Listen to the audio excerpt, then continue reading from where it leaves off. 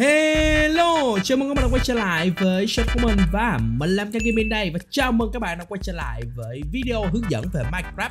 Và ngày hôm nay mình sẽ hướng dẫn cho các bạn cách làm máy farm kinh nghiệm bằng Enderman nha các bạn. Cực kỳ nhanh và cực kỳ hiệu quả luôn. Và trước khi bạn đầu video này các bạn đừng quên lên cho mình một like, một share cũng như một like ký và đừng quên kích vào chuông bấm nhận tất cả thông báo để nhận tất cả thông báo từ channel của mình nha. Còn bây giờ có lẽ là chúng ta sẽ bắt đầu vào video thôi nào. Let's go! Việc đầu tiên khi mà chúng ta nên làm và trước khi việc đầu tiên trước khi mà chúng ta làm cái farm Enderman đó chính là phải tiêu diệt Ender Dragon. Đấy, lý do tại sao? Tại vì nó không tiêu diệt Ender Dragon các bạn mà đi qua đây đúng không? Là nó hất cho các bạn rớt xuống dưới luôn. Rồi, như vậy là việc đầu tiên chúng ta đã xong rồi. Rồi, việc thứ hai thì các bạn cần xác định cho mình cái vị trí cổng thì uh, hướng nào cũng được nha các bạn. Sau đó thì các bạn sẽ bắt đầu ra khoảng tầm 200 block từ vị trí này ra. 200 block đấy kéo ra. Các bạn cứ kéo ra 200 block cho mình nha. Rồi khi mà kéo ra 200 block thì các bạn uh, hãy chỉnh thành 8 chân nha. Đây để 8 chân thì uh, không nhìn thấy ở cái đảo bên kia nữa là ok. Như vậy là chúng ta sẽ chọn vị trí này để làm farm nha. Rồi còn cái đường này thì các bạn có thể bỏ đi. Nếu như mà bạn nào không muốn á, bỏ đi á, thì các bạn có thể sử dụng lá nha. Tại vì lá nó sẽ hạn chế cái việc spawn ra của tụi uh, Enderman. Cho nên các bạn uh, sử dụng lá thì các bạn có thể ốp được một cái đường đi ra cũng được. Rồi bây giờ thì uh, chúng ta sẽ cần phải làm một chỗ để nhận đồ ha. Thì đầu tiên chắc là mình sẽ để qua hướng bên này là một hai ba. Thì chúng mình sẽ làm một cái sàn là bio nha thì mình sẽ để cái rương qua hướng bên này nha các bạn. Đấy ba cái rương qua đây. Đấy đơn giản thôi. Đó như thế này ba nhân ba. Rồi như vậy là xong rồi nè các bạn. Thì bây giờ ở vị trí này á Các bạn sẽ lên cho mình là 42 block tính từ cái hopper nha các bạn. Thì ở đây á các bạn sẽ có một cái thảm. Thì các bạn ốp cái thảm lên cho mình nha. Đây ở đây mình sẽ sử dụng cái thảm tím nha ốp lên. Đây rồi. Lên 42 block. Đầu tiên mình sẽ làm trước là bốn cái trụ xung quanh đi. Đây rồi lên nè. 1, 2, 3, 4, 5, 6, 7, 8, 9, 10, 11, 12, 13, 14, 15, 16, 17, 18, 19,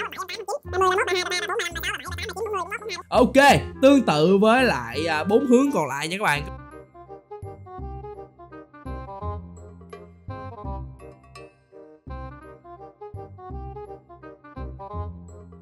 Rồi, sau khi mà ốp bốn trụ lên rồi thì các bạn có thể trang trí xung quanh nha. Thì ở đây mình sẽ sử dụng slab để trang trí nha các bạn. Thì ở vị trí này chúng ta sẽ đứng để đánh rồi. Cho nên á là mình sẽ ờ, chừa ra đây. Đó, mình chỉ chừa ra hai hai block thôi. Để làm gì? Để cho con Enderman nó không có dịch chuyển ra ngoài được nha các bạn. Chứ không mà nó dịch chuyển ra ngoài là nó vẽ ra không trượt phát nào luôn á. Đấy, ok chưa? Đi chỗ khác chơi. Đấy, thì ở đây mình sẽ ốp như thế này. Đấy, xe kẻ thôi. À, Cứ uh, nửa dưới mà dứt thôi.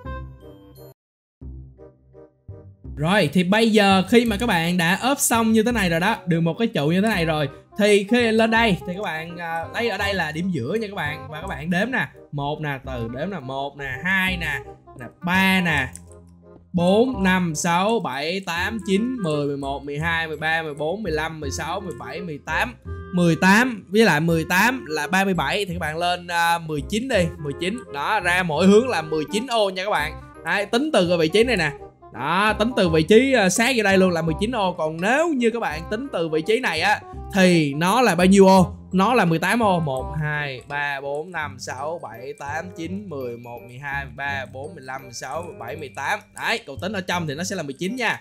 Đấy, rồi sau đó thì các bạn sẽ về bốn hướng luôn nha. Rồi, sau đó thì các bạn chỉ việc ốp lại thôi các bạn. Đây, ốp lại như thế này Tạo ra một cái sàn là 39 nhân là 39 nha các bạn.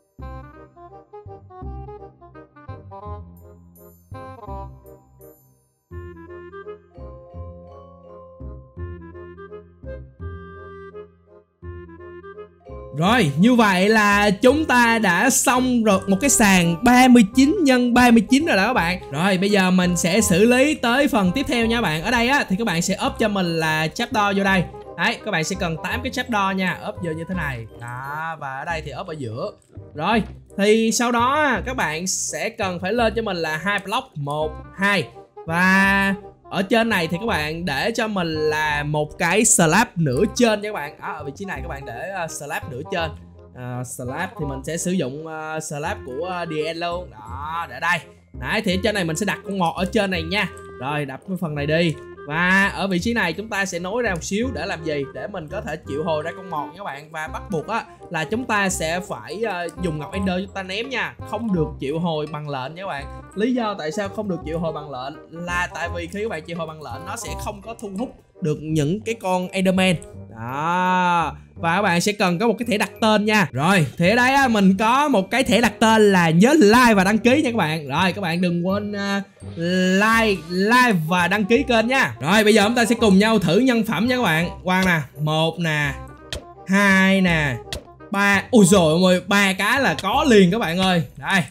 Rồi cho nó đẩy đẩy cái phần xe vô. Bây giờ đó cuối cùng thì nó cũng đã bị gọi là vô xe. Và các bạn sẽ cần thêm cho mình là uh, những cái uh, slab và cho mình thêm là hai cái tấm thảm nữa nha các bạn. Rồi đây khi mà các bạn uh, đẩy uh, con một tới cuối đúng không? Thì các bạn sẽ ốp thêm cho mình là cái slab ở bên trên và các bạn ốp cho mình là hai cái thảm. Đấy là ổn ổn ổn con ngựa nó áp. Đấy rồi bây giờ đập xung quanh đi.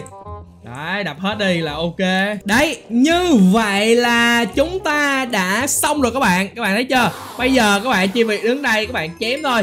Thì ở bên trên, tụi Enderman nó cũng sẽ tự động xuất hiện Và nó sẽ tự động dịch chuyển xuống cho các bạn. Đấy, tại vì á, ở bên trên đó là đã có con mọt nó lo cái vấn đề mà dụ tụi Enderman đó bạn. Thì các bạn chỉ việc chém thôi. Còn lại cứ để mấy con mọt nó lo nha và để tối ưu hơn á, thì các bạn nên là đập phần này đi. Đó đập hết phần này đi.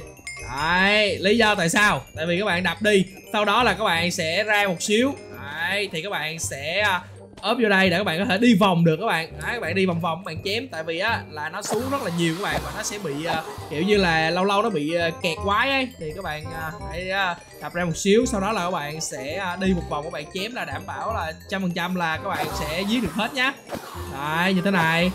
Đấy, ok chưa? Và trên này nếu như các bạn muốn hạn chế cái việc nó xuất hiện á thì các bạn cứ uh, để cho mình là hai hai block như thế này thôi. Ai up lên trên. Đấy, ốp như thế này là đảm bảo là nó sẽ không có dịch chuyển ra được nha. Và kết hợp thêm à, một ít uh, thảm nữa là Evanco luôn là Ovanke luôn các bạn. Rồi, thì uh, mình sẽ hướng dẫn cho các bạn thêm một cái hệ thống bắn bỏ đồ nữa nha các bạn. Ở bên dưới này thì các bạn có thể là sử dụng một cái rubber hướng xuống như thế này. Đấy, rubber hướng xuống như thế này nha. Sau đó thì ở vị trí này thì các bạn sẽ để cho mình vô là ba cái uh, hopper ở bên dưới những cái rương ấy. Thì các bạn có thể để vô như thế này cũng được không có vấn đề gì cả. Đấy các bạn để vô như thế này nha. Rồi sau đó ở vị trí này thì các bạn để cho mình là hai cái um, observer hướng vào nhau như thế này. Đấy các bạn thấy không? Thì hai cái, cái observer nó sẽ hướng vào nhau như thế này. Các bạn sẽ cần cho mình cũng cần gạt nữa. Các bạn để vị trí này và các bạn bấm tắt đi. Thì khi nào các bạn muốn bắn bỏ đồ đi á thì các bạn hãy bật công tắc lên nha. Đây. Đấy, các bạn muốn bắn bỏ đồ thì các bạn bật công tắc nha Còn không thì các bạn bấm tắt đi là ok. Đấy, đó là hệ thống bắn bỏ đồ nha các bạn. Thì bây giờ mình sẽ test cho các bạn xem á Là mất khoảng thời gian là bao lâu để mình lên được 30 level nha các bạn. Rồi, chúng ta sẽ cùng nhau à, test thử xem nha các bạn. Ok. Đấy, 30 level trong vòng bao nhiêu nha?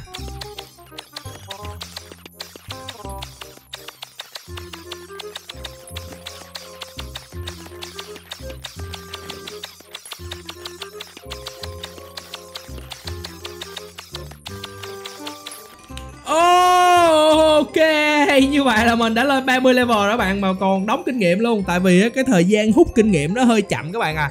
Cho nên là nó cũng làm ảnh hưởng tới cái tốc độ lên level của mình, đúng không? Tại vì á, nó còn kinh nghiệm quá trời đó. Mặc dù là 30 level rồi mà vẫn còn đóng kinh nghiệm luôn các bạn. Thì á, cái máy farm enderman này á, nó cực kỳ cực kỳ là đơn giản cũng như là cực kỳ là hiệu quả. Khi mà các bạn mới tiêu diệt rồng thì các bạn nên ưu tiên làm một cái máy farm enderman để các bạn có được cái số lượng kinh nghiệm cũng như là có được uh, những cái cường hóa đồ cao cấp. Và sau này ấy, thì khi mà các bạn có mending rồi á thì các bạn nên sử dụng pha enderman để sửa đồ tại vì nó cũng khá là hiệu quả các bạn à. Đấy thì máy farm cơ bản, đơn giản và cực kỳ hiệu quả. Thì nếu như mà bạn nào thích mình là tiếp tục những cái video về Minecraft hướng dẫn gì nữa thì đừng quên like, share, cũng như là comment ở bên dưới cho mình biết nha. Còn bây giờ có lẽ là mình sẽ tạm dừng clip ở đây. Cảm ơn các bạn đã theo dõi clip của mình. Xin chào và hẹn gặp lại các bạn trong những video clip kế tiếp nha.